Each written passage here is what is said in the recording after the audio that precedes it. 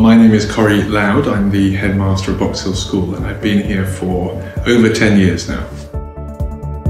Well, we're located right on the outskirts of London, so only 40 minutes direct into London centre, uh, but also between Heathrow Airport and Gatwick Airport, about 30 minutes in a taxi each way.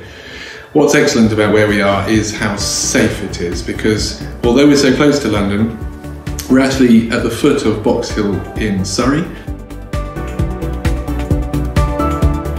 So at Box Hill School we take students from age 11 through to age 18 and we have the mainstream British curriculum including the uh, GCSE package but we also offer the International Study Centre, which is a one-year accelerated programme in IGCSEs. And we offer the International Baccalaureate and the A-level programme as well. So a huge range of choice.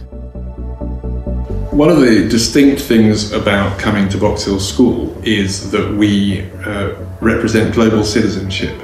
So we have people from 36 different countries around the world, including several people from West Africa. Uh, and we also have two thirds of the school who are local.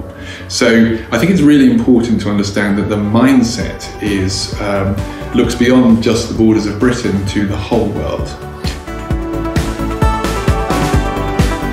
We've had a number of students from West Africa come to the school and they've all really thrived here in their own different ways.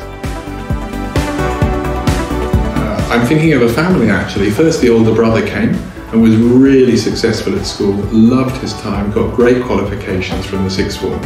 And then his sister came as well. So they must have enjoyed it because the sister came and she was highly academic, um, uh, just graduated actually, and she became my deputy head girl and was fantastic in promoting uh, discussion and dialogue and inclusivity across the school. And she was a fantastic student and she's gone on to do medical studies.